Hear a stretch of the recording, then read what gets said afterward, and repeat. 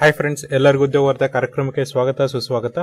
So ನೋಡ್ರಿ ಇವತ್ತಿನ ಒಂದು ಉದ್ಯೋಗ ವಾರ್ತೆ ಕಾರ್ಯಕ್ರಮದಲ್ಲಿ ನಾವೇನ್ ಡಿಸ್ಕಸ್ ಮಾಡ್ತಿದ್ವಿ ಅಂದ್ರೆ, ಈ ಒಂದು ಕರ್ನಾಟಕ ಸರ್ಕಾರದಿಂದ ನೋಡ್ರಿ. ಕರ್ನಾಟಕ ಶಿಕ್ಷಕರ ಅರ್ಹತಾ ಪರೀಕ್ಷೆ ಎರಡ್ ಸಾವಿರದ ಇಪ್ಪತ್ತ್ ಮೂರದ ಅಧಿಸೂಚನೆ ಬಂದಿದೆ. ಅದ್ರ ಬಗ್ಗೆ ನಾವು ಡಿಸ್ಕಷನ್ ಮಾಡ್ತಿದ್ವಿ. ಸೊ ಈ ಕರ್ನಾಟಕ ಶಿಕ್ಷಕರ ಅರ್ಹತಾ ಪರೀಕ್ಷೆ ದಿನಾಂಕ ಇರೋದು ಯಾವ್ದಪ್ಪ ಅಂದ್ರೆ, ಪರೀಕ್ಷೆ ದಿನಾಂಕ ಮೂರು ಒಂಬತ್ತು ಎರಡ್ ಸಾವಿರದ ಇಪ್ಪತ್ತ್ ಮೂರು ಭಾನುವಾರದಂದಿರುತ್ತೆ. ಆನ್ಲೈನ್ ಮೂಲಕ ಅರ್ಜಿಗಳನ್ನು ಸಲ್ಲಿಸುವ ಕೊನೆ ದಿನಾಂಕ ಐದು ಎಂಟು ಎರಡ್ ಸಾವಿರದ ಇಪ್ಪತ್ತ್ ಮೂರು ಅಂದ್ರೆ, ಮುಂದಿನ ತಿಂಗಳು ಐದನೇ ತಾರೀಕುವರೆಗೂ ನಿಮಗೆ ಅವಕಾಶವನ್ನ ಕೊಟ್ಟಿದ್ದಾರೆ. ಇಲ್ಲಿ ನೋಡ್ರಿ ಶಾರ್ಟ್ ಟೈಟಲ್ ಗಳನ್ನ ನೋಡೋದಾದ್ರೆ, ಕರ್ನಾಟಕ ಶಿಕ್ಷಣ ಅರ್ಹತಾ ಪರೀಕ್ಷೆ ನಿಯಮಗಳು ಎರಡ್ ಸಾವಿರದ ಹನ್ನೊಂದು.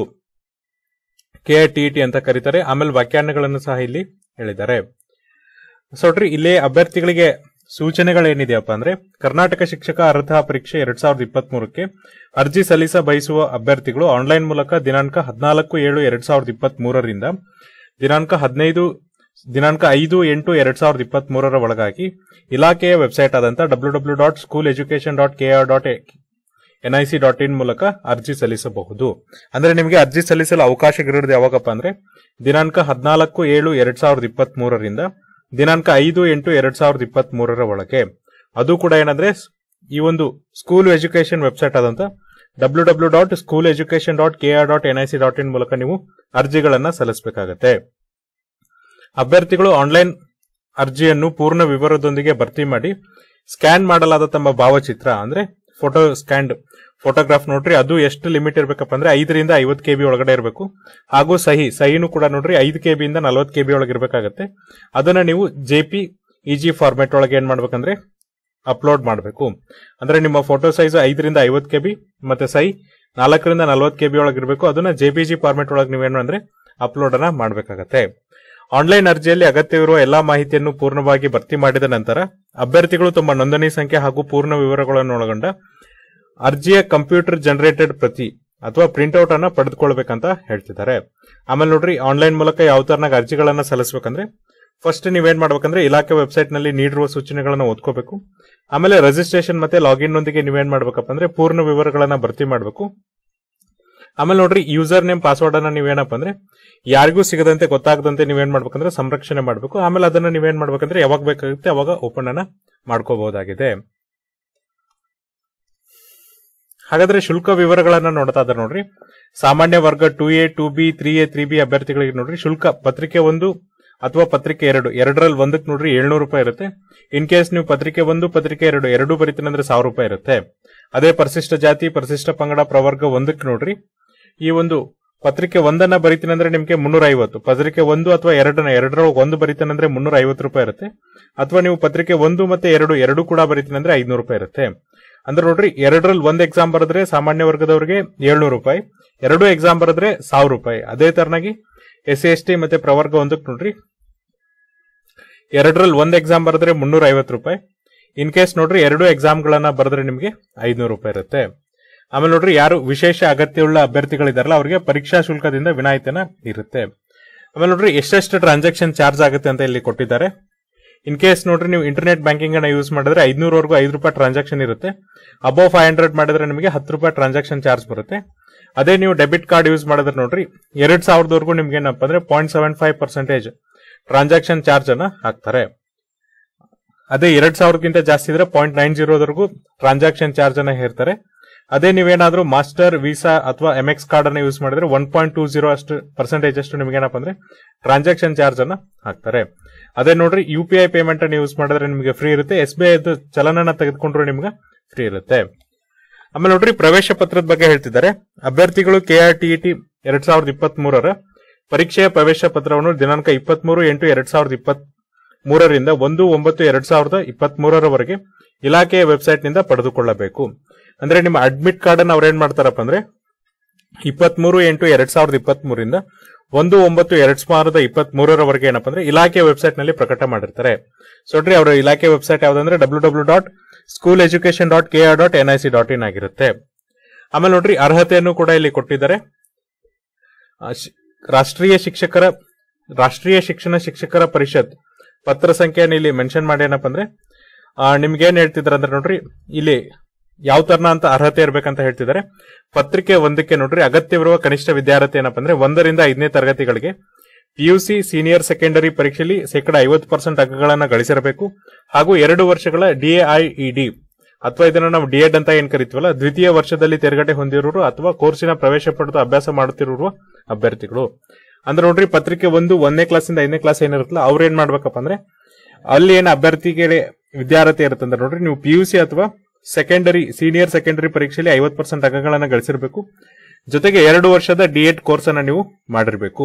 ಆಮೇಲೆ ನೋಡ್ರಿ, ಯಾರು ಎರಡನೇ ವರ್ಷದಲ್ಲಿ ಇರ್ತಾರಲ್ಲ ಅಥವಾ ಕೋರ್ಸಿನ ಪ್ರವೇಶ ಪಡೆದಿರ್ತಾರಲ್ಲ ಅಂತ ಅಭ್ಯರ್ಥಿಗಳು ಕೂಡ ಇಲ್ಲಿ ಎಲಿಜಿಬಲ್ ಆಗ್ತಾರೆ. ಅಥವಾ ಪಿಯುಸಿ ಅಥವಾ ಸೀನಿಯರ್ ಸೆಕೆಂಡರಿ ಪರೀಕ್ಷೆಯಲ್ಲಿ ಕನಿಷ್ಠ ಐವತ್ತು ಪರ್ಸೆಂಟ್ ಅಂಕಗಳನ್ನು ಗಳಿಸಿರಬೇಕು. ಹಾಗೂ ನಾಲ್ಕು ವರ್ಷಗಳ bachelor in elementary education B ಅಂತ ನಾವೇನ್ ಕರಿತೀವಿ? ಬಿ ಬಿಇಐ ಇಡಿ ಇದರಲ್ಲಿ ನೀವೇನಾಗಿರ್ಬೇಕಪ್ಪ ಅಂದ್ರೆ ತೇರ್ಗಡೆನ ಹೊಂದಿರಬೇಕು. ಪಿ ಯು ಸಿ ಮಾಡಿರ್ಬೇಕು, ಜೊತೆಗೆ ಏನಪ್ಪ ಅಂದ್ರೆ ಅದರಲ್ಲಿ ಐವತ್ತು ಪರ್ಸೆಂಟ್ ಅಂಕಗಳನ್ನು ತೆಗೆದುಕೊಂಡಿರ್ಬೇಕು. ಜೊತೆಗೆ ನಾಲ್ಕು ವರ್ಷಗಳ ಎಲಿಮೆಂಟರಿ ಎಜುಕೇಶನ್ ಏನಿದೆ? Bachelor on elementary education B A ED ಅದರಲ್ಲಿ ಕೂಡ ನೀವು ಪಾಸ್ ಆಗಿರಬೇಕು.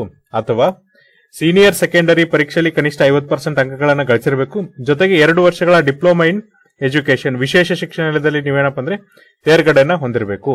ಅಥವಾ ಪದವಿಯಲ್ಲಿ ಕನಿಷ್ಠ ಪಕ್ಷ ಐವತ್ತು ಪರ್ಸೆಂಟ್ ಅಂಕಗಳನ್ನು ಗಳಿಸಿರಬೇಕು.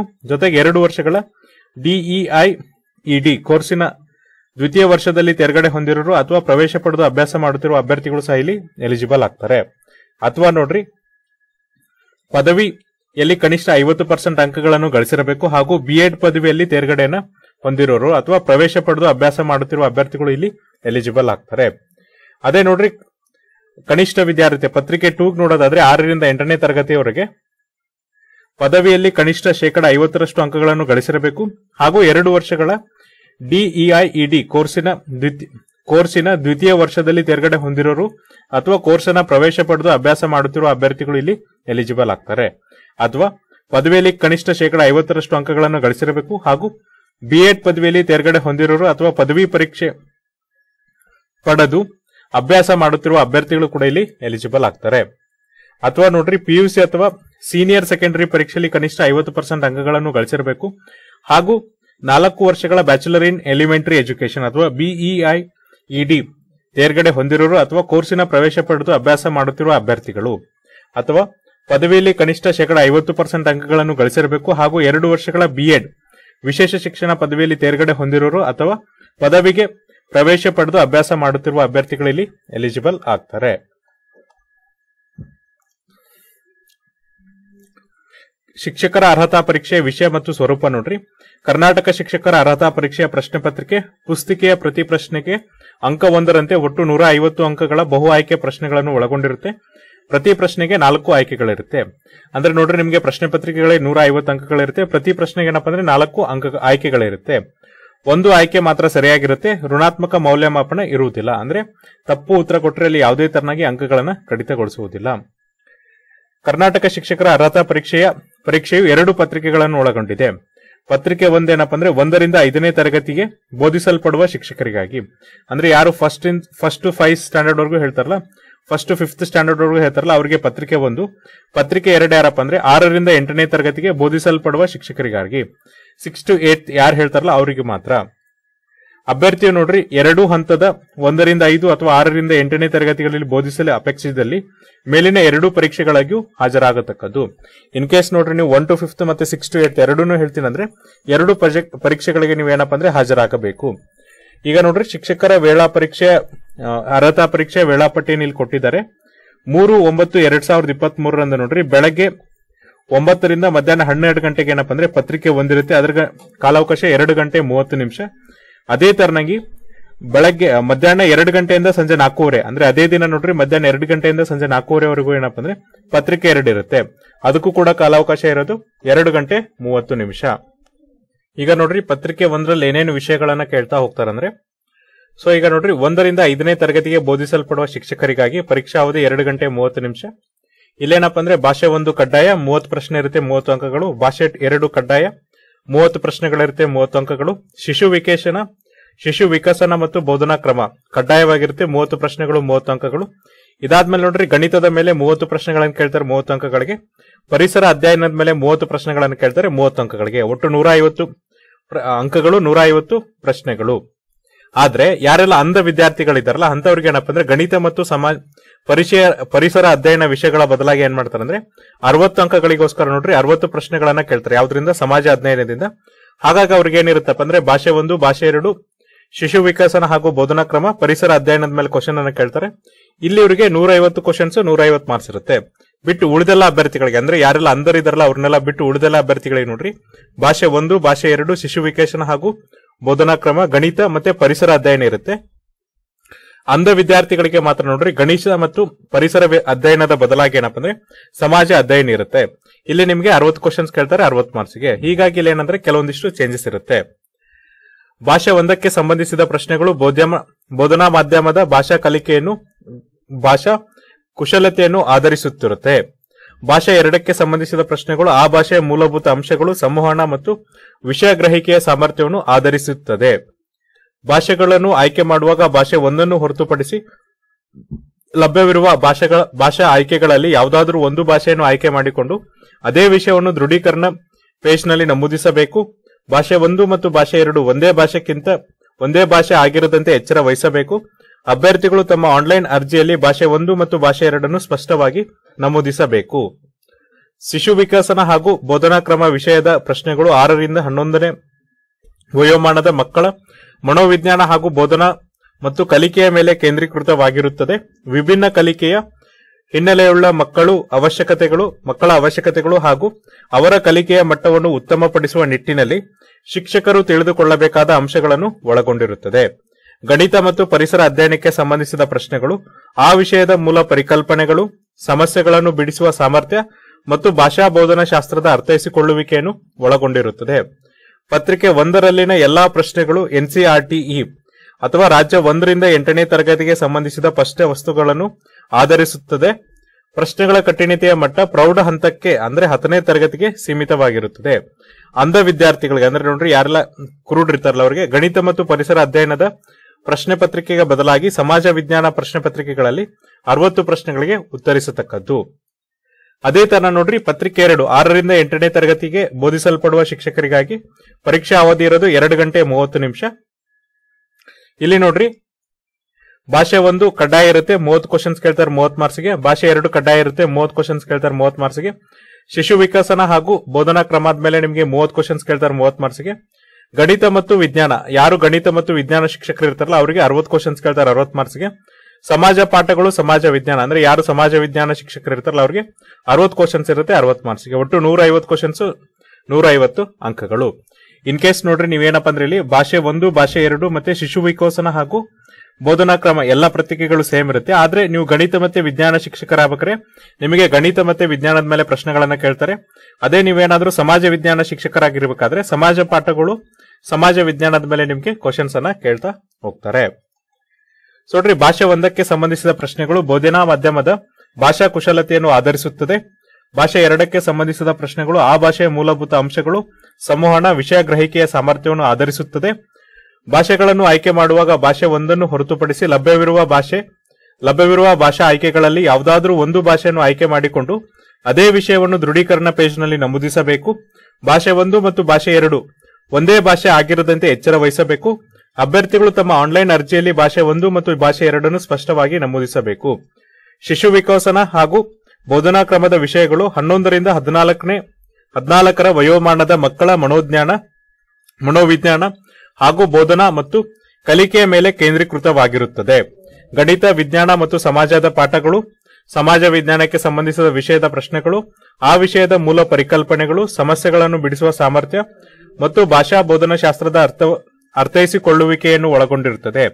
ಪರೀಕ್ಷಾ ಪ್ರಶ್ನೆಗಳು ಗಣಿತ ಮತ್ತು ವಿಜ್ಞಾನದ ವಿಷಯಗಳಲ್ಲಿ ಪ್ರತಿ ವಿಷಯದ, ಪ್ರತಿ ವಿಷಯದಲ್ಲಿ ಮೂವತ್ತು ಅಂಕಗಳನ್ನು, ಮೂವತ್ತು ಅಂಕಗಳ ಪ್ರಶ್ನೆಗಳಿರುತ್ತವೆ. ವಿಭಿನ್ನ ಕಲಿಕೆ ಹಿನ್ನೆಲೆಯುಳ್ಳ ಮಕ್ಕಳ ಅವಶ್ಯಕತೆಗಳನ್ನು ಹಾಗೂ ಅವರ ಕಲಿಕೆಯ ಮಟ್ಟವನ್ನು ಉತ್ತಮಪಡಿಸುವ ನಿಟ್ಟಿನಲ್ಲಿ ಶಿಕ್ಷಕರು ತಿಳಿದುಕೊಳ್ಳಬೇಕಾದ ಅಂಶಗಳನ್ನು ಒಳಗೊಂಡಿರುತ್ತದೆ. ಪತ್ರಿಕೆ ಎರಡರಲ್ಲಿನ ಎಲ್ಲಾ ಪ್ರಶ್ನೆಗಳು ಎನ್ಸಿಆರ್ಟಿಇ ಅಥವಾ ರಾಜ್ಯದ ಆರರಿಂದ ಹತ್ತನೇ ತರಗತಿಗೆ ಸಂಬಂಧಿಸಿದ ಪಠ್ಯ ವಸ್ತುವನ್ನು ಆಧರಿಸಿದ್ದು, ಆದರೆ ಪ್ರಶ್ನೆಗಳ ಕಠಿಣತೆಯ ಮಟ್ಟ ಹಿರಿಯ ಪ್ರೌಢ ಹಂತಕ್ಕೆ, ಅಂದ್ರೆ ಪಿಯುಸಿಗೆ ಸೀಮಿತವಾಗಿರುತ್ತದೆ. ಪ್ರಶ್ನೆ ಪತ್ರಿಕೆಯ ಮಾಧ್ಯಮ ನೋಡ್ರಿ, ಭಾಷಾ ವಿಷಯಗಳಾದ, ಭಾಷಾ ವಿಷಯಗಳ ಹೊರತಾಗಿ ಉಳಿದೆಲ್ಲ ವಿಷಯಗಳ ಪ್ರಶ್ನೆಗಳನ್ನು ಕನ್ನಡ, ಇಂಗ್ಲಿಷ್, ಉರ್ದು, ತಮಿಳ್, ತೆಲುಗು, ಹಿಂದಿ ಮತ್ತು ಮರಾಠಿ ಮಾಧ್ಯಮಗಳಲ್ಲಿ ಮುದ್ರಿಸಲಾಗಿರುತ್ತದೆ. ಅಂದ್ರೆ ಭಾಷಾ ವಿಷಯಗಳನ್ನ ಭಾಷಾ ಪತ್ರಿಕೆಯಲ್ಲಿ ಇರುತ್ತೆ ಅದು ಬಿಟ್ಟು ಉಳಿದೆಲ್ಲ ವಿಷಯಗಳೇನಿರುತ್ತೆ? ಅವುಗಳನ್ನು ನೋಡ್ರಿ. ಕನ್ನಡ, ಇಂಗ್ಲಿಷ್, ಉರ್ದು, ತಮಿಳ್, ತೆಲುಗು, ಹಿಂದಿ ಮತ್ತು ಮರಾಠಿ ಮಾಧ್ಯಮಗಳಲ್ಲಿ ಗುರುತು, ಏನಪ್ಪ ಅಂದ್ರೆ ಮುದ್ರಿಸಲಾಗಿರುತ್ತೆ. ಅಂದ್ರೆ ಪ್ರಿಂಟ್ ಮಾಡಿರ್ತಾರೆ. ಇದಾದ್ಮೇಲೆ ನೋಡ್ರಿ, ಅರ್ಹತಾ ಅಂಕಗಳು ಮತ್ತು ಕರ್ನಾಟಕ ಶಿಕ್ಷಕರ ಅರ್ಹತಾ ಪರೀಕ್ಷೆಗೆ ಪ್ರಮಾಣ ಪತ್ರ ಅಧಿಸೂಚನೆಯಲ್ಲಿ ತಿಳಿಸಿರುವಂತೆ ಸಾಮಾನ್ಯ ವರ್ಗ two A, two B, three A, three B ಗುಂಪಿಗೆ ಸೇರಿದ ಅಭ್ಯರ್ಥಿಗಳು ಕರ್ನಾಟಕ ಶಿಕ್ಷಕರ ಅರ್ಹತಾ ಪರೀಕ್ಷೆಯಲ್ಲಿ ಕನಿಷ್ಠ ಅರವತ್ತರಷ್ಟು ಅಂಕಗಳನ್ನು, ಅರ್ಹತಾ ಪರೀಕ್ಷೆ ಅಂಕಗಳನ್ನು ಪಡೆಯಬೇಕು. ಅಂದ್ರೆ ನೀವು ಈ ಪರೀಕ್ಷೆಯನ್ನ ಪಾಸ್ ಆಗಲ್ಲ ನೋಡ್ರಿ. ಸಾಮಾನ್ಯ ವರ್ಗದವರು two A, two B, three A, three ಬಿಗೆ ಸೇರಿದ ಗುಂಪುಗಳು ಕನಿಷ್ಠ ಪಕ್ಷ ಅರವತ್ತು ಪರ್ಸೆಂಟ್ ಅಂಕಗಳನ್ನು ಪಡಿಬೇಕು. ಅದೇ ಪರಿಶಿಷ್ಟ ಜಾತಿ, ಪರಿಶಿಷ್ಟ ಪಂಗಡ, ಪ್ರವರ್ಗ ಒಂದು ಅಭ್ಯರ್ಥಿಗಳೇನಪ್ಪ ಅಂದ್ರೆ ಇಲ್ಲಿ ಎಲಿಜಿಬಿಲಿಟಿ ಆಗಲು ನೀವು ಕನಿಷ್ಠ ಪಕ್ಷ ಏನಪ್ಪ ಅಂದ್ರೆ ಐವತ್ತೈದರಷ್ಟು ಅಂಕಗಳನ್ನು ನೀವು ಇಲ್ಲಿ ಪಡಿಬೇಕಾಗತ್ತೆ. ಇದಾದ್ಮೇಲೆ ಸ್ಕ್ರೈಬ್ ಬಗ್ಗೆ ಹೇಳಿದ್ದಾರೆ. ದಾಖಲೆಗಳ ಸಂರಕ್ಷಣೆ, ಕಾನೂನಿನ ಪರಿಮಿತಿ. ಆಮೇಲೆ ನೋಡ್ರಿ ಕೆಲವೊಂದಿಷ್ಟು ಸೂಚನೆಗಳನ್ನ ಹೇಳಿದ್ದಾರೆ. ಆಮೇಲೆ ನೋಡ್ರಿ, ಇನ್ನೊಂದ್ಸರಿ ಹೇಳ್ತೀನಿ ಆನ್ಲೈನ್ ಅರ್ಜಿಗಳನ್ನು ಸಲ್ಲಿಸಕ್ಕಿರುವಂತ ವೆಬ್ಸೈಟ್ ಯಾವ್ದಪ್ಪ ಅಂದ್ರೆ W W dot school education dot K R dot N I C dot in online ಅರ್ಜಿಗಳನ್ನ ಹದಿನಾಲ್ಕು, ಏಳು, ಎರಡ್ ಸಾವಿರದ ಇಪ್ಪತ್ತ್ ಮೂರರಿಂದ ಐದು, ಎಂಟು, ಎರಡ್ ಸಾವಿರದ ಇಪ್ಪತ್ತ್ ಮೂರವರೆಗೆ ಸಲ್ಲಿಸಬಹುದು ಶುಲ್ಕ ಪಾವತಿ ಮಾಡಲು ಕೊನೆಯ ದಿನಾಂಕ ಐದು, ಎಂಟು, ಎರಡ್ ಸಾವಿರದ ಇಪ್ಪತ್ತ್ ಮೂರು ಪ್ರವೇಶ ಪತ್ರವನ್ನ ಡೌನ್ಲೋಡ್ ಮಾಡಿಕೊಳ್ಳುವ ಅವಧಿ ಇಪ್ಪತ್ಮೂರು, ಎಂಟು, ಎರಡ್ ಸಾವಿರದ ಇಪ್ಪತ್ತ್ ಮೂರರಿಂದ ಒಂದು, ಒಂಬತ್ತು, ಎರಡ್ ಸಾವಿರದ ಇಪ್ಪತ್ತ್ ಮೂರು ಈ ಪರೀಕ್ಷೆ ಇರೋದು ಯಾವಾಗ ನೋಡ್ರಿ, ಮೂರು, ಒಂಬತ್ತು, ಎರಡ್ ಸಾವಿರದ ಇಪ್ಪತ್ತ್ ಮೂರು ಪರೀಕ್ಷಾ ಕೇಂದ್ರವನ್ನ ನಿಮ್ಗೆ ಏನಪ್ಪ ಅಂದ್ರೆ ಪ್ರವೇಶ ಪತ್ರದಲ್ಲಿ ಸೂಚನೆ ಮಾಡಿರ್ತಾರೆ. ಪರೀಕ್ಷೆ ದಿನದಂದು ತರಬೇಕಾದ ವಸ್ತುಗಳು ಯಾವ್ದಪ್ಪ ಅಂದ್ರೆ ಪ್ರವೇಶ ಪತ್ರಗಳನ್ನ ತರಬೇಕು, ಒಳ್ಳೆಯ ಗುಣಮಟ್ಟದ ನೀಲಿ ಮತ್ತು ಕಪ್ಪು ಬಾಲ್ ಪಾಯಿಂಟ್ ಪೆನ್ಗಳನ್ನ ತರಬೇಕು. ಸೊಡ್ರಿ, ಕಪ್ಪು ಅಥವಾ ನೀಲಿ ಬಾಲ್ ಪಾಯಿಂಟ್ ಪೆನ್ ಅಥವಾ ಬಾಲ್ ಪೆನ್ ಅಂತ ನಾವೇನ್ ಕರಿತೀವಲ್ಲ, ಅವುಗಳನ್ನ ನೀವು ತರಬೇಕು. ಪರೀಕ್ಷಾ ವೇಳಾಪಟ್ಟಿಗಳನ್ನ ಇಲ್ಲಿ ಕೊಟ್ಟಿದ್ದಾರೆ. ಸೊ ನೋಡ್ರಿ ಫಸ್ಟ್ ಪೇಪರ್ ನೀವು ಒಂಬತ್ತು ಗಂಟೆಗೆ ಇರಬೇಕು. ಒಂಬತ್ತರಿಂದ ಒಂಬತ್ತು ಹದಿನೈದರವರೆಗೆ ನಿಮ್ಮ ಪ್ರವೇಶ ಪತ್ರವನ್ನ ಪರಿಶೀಲನೆ ಮಾಡ್ತಾರೆ. ಒಂಬತ್ತು ಹದಿನೈದಕ್ಕೆ ನೋಡ್ರಿ, ಪರೀಕ್ಷಾ ಪುಸ್ತಕಗಳ ವಿತರಣೆಯನ್ನ ಮಾಡ್ತಾರೆ. ಒಂಬತ್ತು ಇಪ್ಪತ್ತೈದಕ್ಕೆ ಉತ್ತರ ಪತ್ರಿಕೆಗಳನ್ನು ಒಳಗೊಂಡ ಪರೀಕ್ಷಾ ಪುಸ್ತಕಗಳ ಸೀಲನ್ನು ತೆಗಿತಾರೆ. ಒಂಬತ್ತು ಮೂವತ್ತಕ್ಕೆ ನೋಡ್ರಿ, ಪರೀಕ್ಷಾ ಕೊಠಡಿಯಲ್ಲಿ ಕೊನೆಯ ನಮೂದನ್ನ ಮಾಡ್ತಾರೆ. ಒಂಬತ್ತು ಮೂವತ್ತಕ್ಕೆ ಆರಂಭ ಆಗುತ್ತೆ, ಹನ್ನೆರಡು ಗಂಟೆಗೆ ಮುಕ್ತಾಯ ಆಗುತ್ತೆ. ಅದೇ ಮಧ್ಯಾಹ್ನ ನೋಡೋದಾದ್ರೆ ನೋಡ್ರಿ, ಒಂದೂವರೆಗೆ ನೀವು ಪ್ರೆಸೆಂಟ್ ಇರಬೇಕು. ಒಂದೂವರೆಯಿಂದ ಒಂದು ನಲವತ್ತೈದರವರೆಗೆ ಅವರು ಪ್ರವೇಶ ಪತ್ರಗಳ ಪರಿಶೀಲನೆ ಮಾಡ್ತಾರೆ. ಒಂದು ನಲವತ್ತೈದಕ್ಕೆ ನೋಡ್ರಿ, ಪರೀಕ್ಷಾ ಪುಸ್ತಕಗಳ ವಿತರಣೆಯನ್ನ ಮಾಡ್ತಾರೆ. ಒಂದು ಐವತ್ತೈದಕ್ಕೆ ಏನಪ್ಪ ಅಂದ್ರೆ ಉತ್ತರ ಪತ್ರಿಕೆಗಳನ್ನು ಒಳಗೊಂಡ ಪರೀಕ್ಷಾ ಪುಸ್ತಕಗಳ ಸೀಲನ್ನು ತೆಗಿತಾರೆ. ಎರಡು ಗಂಟೆಗೆ ನೋಡ್ರಿ, ಪರೀಕ್ಷಾ ಕೊಠಡಿಯಲ್ಲಿ ಕೊನೆಯ ನಮೂದನ್ನ ಮಾಡ್ತಾರೆ. ಇದಾದ್ಮೇಲೆ ಪರೀಕ್ಷೆ ಆರಂಭ ಎರಡು ಗಂಟೆಗೆ ಆಗುತ್ತೆ ಮುಕ್ತಾಯ ನಾಲ್ಕು ಮೂವತ್ತಕ್ಕೆ ಆಗುತ್ತೆ. ಸೊ ಇದೇನಪ್ಪ ಅಂದ್ರೆ ಕರ್ನಾಟಕ ಒಂದು ಕೆ ಆರ್ ಟಿ ಟಿ ಬಗ್ಗೆ ಇರುವಂತ ಮಾಹಿತಿ. ಇನ್ ಕೇಸ್ ನಿಮ್ಗೆ ಇದರಲ್ಲಿ ಏನಾದರೂ ಡೌಟ್ ಇದ್ರೆ ನಾವು ನಮ್ಮ ಡಿಸ್ಕ್ರಿಪ್ಷನ್ ಬಾಕ್ಸ್ ಅಲ್ಲಿ official P D F link ಅನ್ನ ಕೊಡ್ತೀವಿ. ಆ ಲಿಂಕ್ ಅನ್ನ ಕ್ಲಿಕ್ ಮಾಡಿದ್ರೆ ನಿಮಗೆ ಎಂಟೈರ್ ಪಿ ಡಿ ಎಫ್ ನೋಡಾಗುತ್ತೆ. ಅಲ್ಲಿ ನಿಮ್ಮ ಡೌಟ್ಸ್ ಅನ್ನ ಸಾಲ್ವ್ ಮಾಡಬಹುದು ನಾಳೆ ಮತ್ತೊಂದು ರಿಕ್ರೂಟ್ಮೆಂಟ್ ಬಗ್ಗೆ ಡಿಸ್ಕಸ್ ಮಾಡೋಣ. ಅಲ್ಲಿವರೆಗೂ ನೋಡ್ತಾ ಇರಿ ಉದ್ಯೋಗ ಕಾರ್ಯಕ್ರಮ. Thank you